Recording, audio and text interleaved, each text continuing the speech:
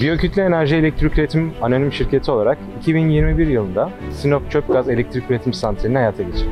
2021 yılında Sinop Sahil Belediyeler Birliği tarafından yapılan ihaleyi kazanarak 6 ay gibi kısa bir süre içerisinde tesisin tüm izin ve lisanslarını alarak 2.82 megawatt gücündeki bu tesisi hayata geçirmeyi başardık. Bölgemizden çıkan evsel atıklar tesisimizin girdisi olarak kullanılmaktadır. Tesisimiz günde 117 ton evsel atığı enerjiye dönüştürüyor. Bu tesiste üretilen enerji ile yılda 74.913 ton karbondioksit salınımını önlüyoruz ve aynı zamanda atıklardan kaynaklanan kirliliği azaltarak çevreye de katkı sağlıyoruz.